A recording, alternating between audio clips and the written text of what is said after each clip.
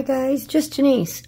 and today we're going to be playing with some alcohol inks. I need to make a background in some really bright colors for another project I'm going to be doing. So I'm going to be using a DaVinci Pro panel, the Ultra Smooth panels. This is an 11 by 14, it's the 2 inch. And um, our dear friend Clara Lawrence she works with alcohol inks, resins, and she does all kinds of fun stuff with her dragons. And she's also done, she's put the masking fluid down, made beautiful backgrounds. And I thought, you know what? I've been wanting to revisit that. I'm going to try it again. So first I'm going to, I use the, um, the Daniel Smith masking fluid. I also use the uh, fine line one but this is the one I had. They both stink, so, I mean, not stink as in bad product. They smell terrible. So, first I'm going to put some stuff down, let that dry, and then I'm going to come back in, do the alcohol inks all over, and let it all dry, and then we're going to have fun peeling this stuff back off. So, um, in the description, I'm going to put Clara's link to the live she did, where she showed people how to use, how she does it. And then,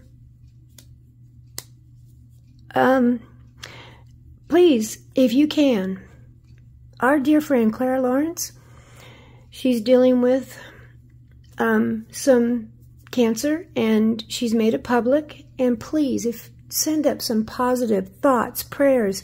She's a wonderful human being and she's positive and she's fun and she's getting through this. And with our love, she's going to do this.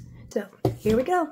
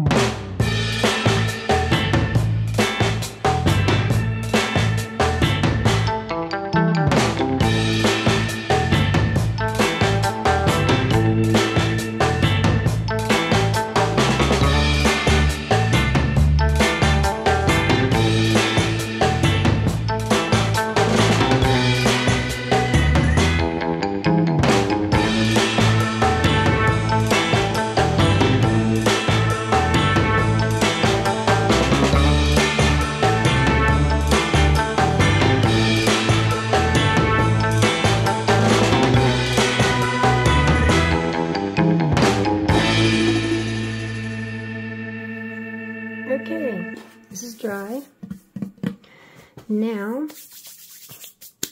just got my fingers on there, but that's okay.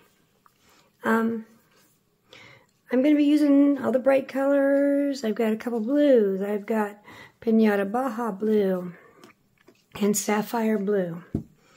I've got Pinata Lime Green, but I've also got Rangers Limeade I'm going to use a purple Ranger's Boysenberry. And I got a pink. I've got Fiesta. I've also got brass in my little bottle, 50-50, with the isopropyl alcohol, the 91%. And I'm going to be using the 91% alcohol to move it around. And I'm going to be using my,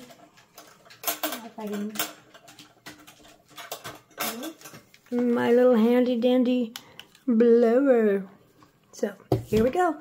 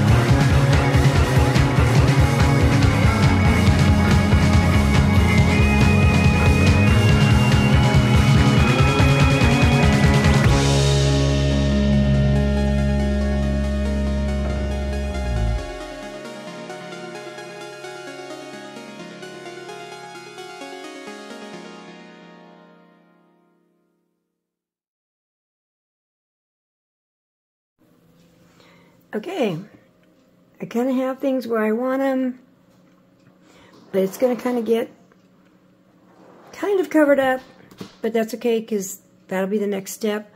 But let's get peeling.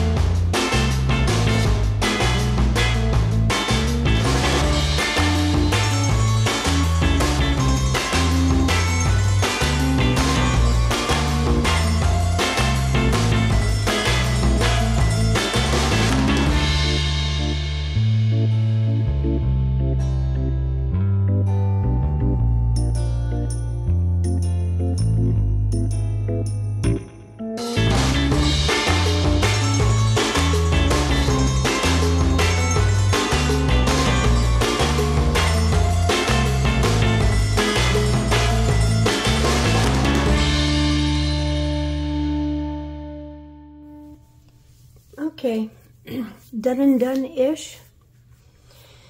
Um, got everything peeled off. There's was some bleeding here, but that's okay. Once I get it covered up, you can see where it bled a little bit under.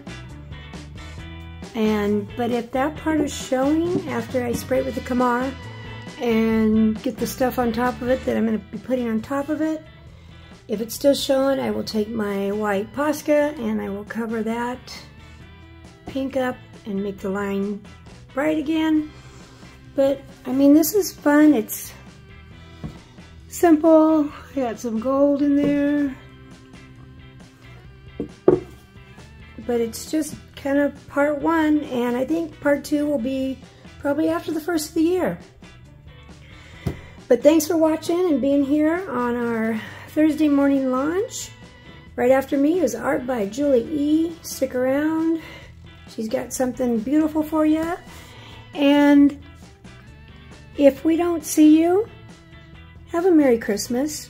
Um, there's lots going on. There's the Fluid Art Express this weekend, the collaboration. There is Nate's Art Lab collaboration coming up, and it's going to be really tasty and very yummy. So thanks for watching, and wherever you are, have a great morning, afternoon, evening, night, and see you soon. Bye.